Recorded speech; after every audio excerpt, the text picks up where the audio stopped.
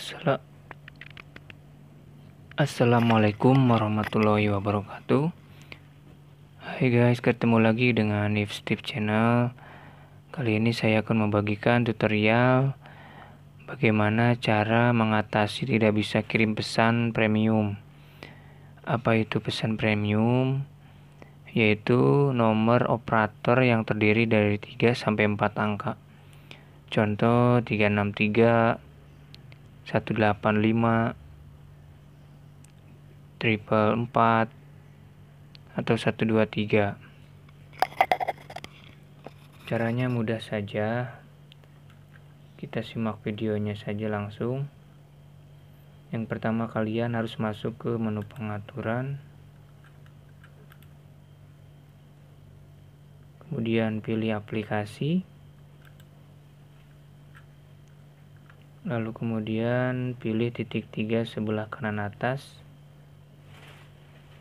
Kita klik. Di sini ada beberapa pilihan. Kita pilih akses khusus.